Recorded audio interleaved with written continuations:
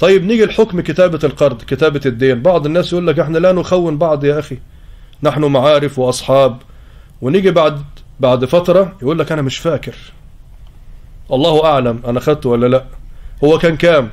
أنت واخد مني ألف. لا والله ما أنا فاكر. بأنهم كانوا 200 ولا 300 ويحصل النزاع والإيه والخصام. لذلك أطول آية في القرآن الكريم هي إيه؟ آية الدين وكتابة الدين وتوثيق الدين. توثيق الدين ليس للتخوين. ولكن توثيق الدين لإثبات الحقوق لكليهما فربما مات أحدهما فتعلق بذمته دين للآخر أو له حق سيضيع على الورثة هو الذي ضيعه بسبب إهماله. ولذلك كتابة الدين ضرورية. طب إن لم نستطع الكتابة الحاجة الثانية الإشهاد.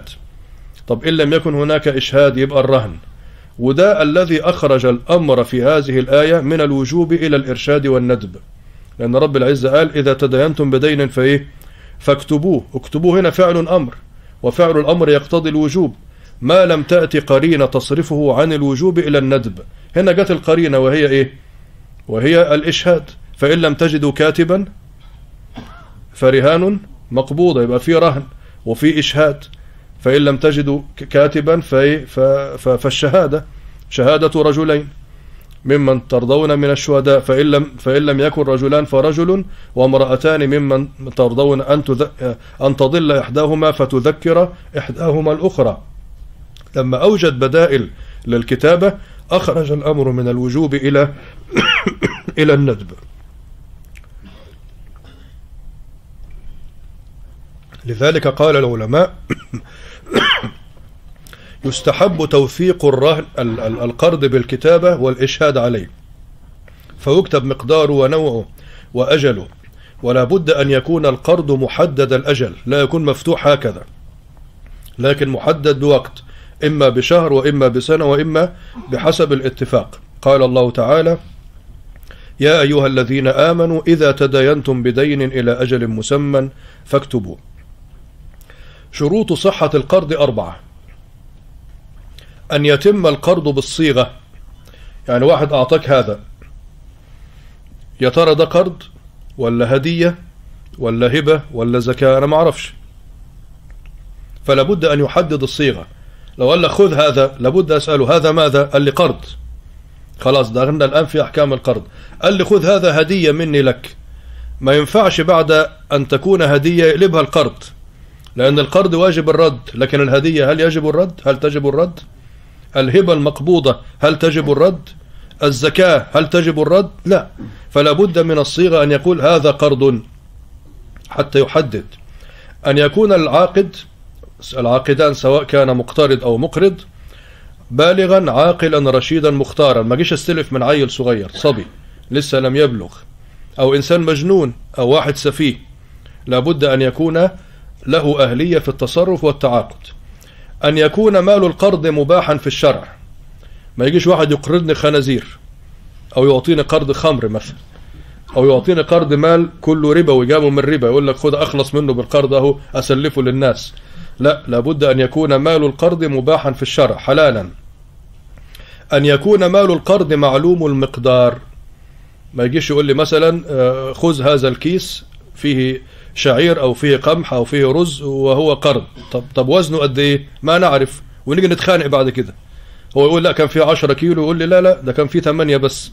فلا بد أن يعرف المقدار وأن يكون معلوم المقدار قبل القرض يبقى دي أربع شروط. الصيغة ليخرج منه الهدية ويخرج منه الهبة وغير ذلك من أنواع التعاملات والزكاة. فلا بد من الصيغة بالإيجاب والقبول بالقرض أو يقول أقرضتك هذا؟ وأنا سكت لحد ما مشينا. هل يعتبر القرض قام أو العقد قام؟ لا لابد أن يقول أقرضتك هذا أقول قبلت القرض فيتم القرض.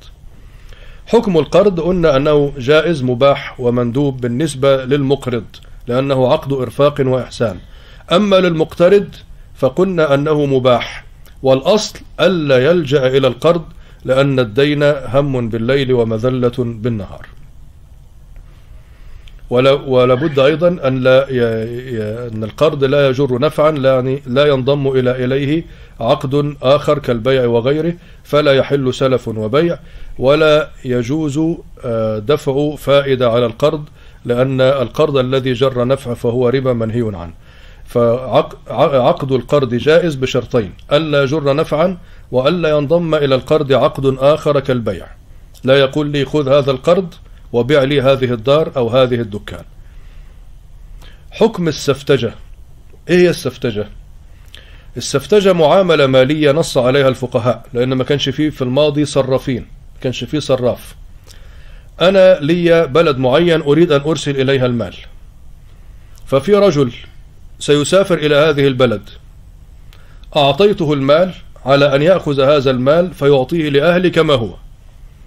نظير أجرة معينة سيأخذها هذا الرجل تحمل مشقة الطريق أو ما شابه ذلك أو أجرة الدابة. هذه قد أباح الفقهاء وهي جائزة لما فيها من منفعة إلى الطرفين.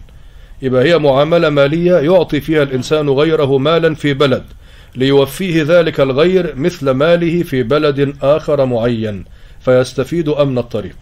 يعني يرسله مع رجل ثقة يقول له مثلا أهلي في الصومال أهلي في السودان أهلي في المغرب أهلي في سوريا. خذ هذا المال فأعطيهم إياه. أعطيته ألف دولار هيعطيهم إياه ألف دولار كما هو كما هم. هذه ليس فيها شيء وتسمى السفتجة.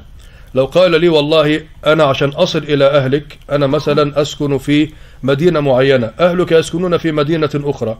إما أن يأتوا هم أو إذا ذهبت أنا إليهم فلأجرة الطريق. أقول له لك هذا وهذا من حقك لأن هذا من المعروف فليس هذا ربا. ما يصح في القرض؟ القرض يصح في كل شيء مباح. ما يجيش واحد يقول للتاني سلفني البيانو أو الكمانجة. يقول له لا لابد أن يكون الشيء مباحا وينتفع به مثل الآلة أو الثياب أو غير ذلك. لكن لو كان محرما كالخمر والخنزير ونحوهما لا. وكل ما صح بيعه صح قرضه. لأن البيع له أربع شروط. نتكلم أيضا هذه الجزئية سريعة. البيع له أربع شروط لينعقد البيع صحيحا. العاقدان البائع والمشتري والصيغة الإيجاب والقبول والسلعة والثمن كل واحد من الأربعة دول له شرط شروط على السريع. الشرط في العاقدان أن يكون كل منهما عاقلا بالغا وأن يكون البائع مالكا لما يبيع لا تبع ما ليس عندك وأن يكون المبيع نجي نتكلم عن السلعة الآن مما ينتفع به. يعني نهى الفقهاء عن بيع ما لا منفعة فيه. ولذلك أتكلم بالذات عن الكلب أنه لا يجوز بيع الكلب فقد نهى عنه صلى الله عليه وسلم صراحة. نهى عليه الصلاة والسلام عن بيع الكلب ومهر البغي وحلوان الكاهن. مهر البغي يعني الثمن الذي تعطاه المرأة للزنا. حلوان الكاهن يعني الذي يتكهن بالغيب ليخبرني يقول لي الطالع بتاعك كويس. أنت السنة دي ما شاء الله هتبقى رئيس الوزراء. والسنة اللي بعدها هتبقى ملك الملوك. ويقعد يعني يسرح بيا في الغيب وهو كاذب جاهل دجال. هذا يعطيه أجرة من باب التفاؤل. يقول لا هذا لا يجوز. فكل ما نهي عن بيعه نهي عن قرض لا يجوز إقراضه. فلا بد أن تكون السلعة مما ينتفع به وأن يكون البائع قادرا على تسليمها. ما يجيش يبيع لي سمك في مية. يقول لي شايف السمك اللي في المية ده؟ أنا بعته لك. أو يبيع ما لا يملك. يبقى قاعد في البلكون وشاف سيارة جاره قال له شفت؟ أنا بعت لك السيارة دي يلا نكتب العقد. وهي من السيارة بتاعته كيف يبيع ما لا يملك؟ الأصل أن يبيع ما يملك وأن يكون السلعة قادرا على تسليمها. يبقى اتكلمنا عن العاقدين اتكلمنا عن الصيغة ولا بد أن تكون الصيغة منجزة. عندما أقول بعتك هذا القنطار أو بعتك هذا البراد الذي فيه مثلا عشرة طن من اللحم أو من القمح أو الدقيق بعتك هذا وانت سكت. وبعدين نفضي المجلس وروحنا. هل يتم البيع؟ أنا ما قلتلكش ان أنا اشتريت. فلا بد أن تكون الصيغة منجزة في العقد في مجلس العقد. بعتك هذا قبلت البيع. فالآن يعتبر تم. الصيغة العاقدان السلعة الثمن. ولا بد أن يكون الثمن من المباح شرعا من الحلال. يعني لا يكون الثمن في السلعة ثمنا باطلا. ما يصح في القرض؟ كل شيء مباح يصح قرضه إذا صح بيعه. ما يجب على المقترض رده. لا بد على المقترض أن يرد المال مثله. لا زيادة ولا نقصان. وجي جينا في إشكالية هنا اللي هي الذي أخذ دولارات مثلا من سنة وأراد أن يردها الآن وأصبح تفاوت في قيمة العملة. أو مثلا في بعض البلاد التي فيها بعض ال- ال- الخلافات أو المشاكل تجد العمرة منهارة. فمثلا أخذ منه ألف ليرة من عشرين سنة أو من عشر سنوات وعايز يردهم دلوقتي. الألف ليرة كان زمان تساوي الآن مليون ليرة مثلا.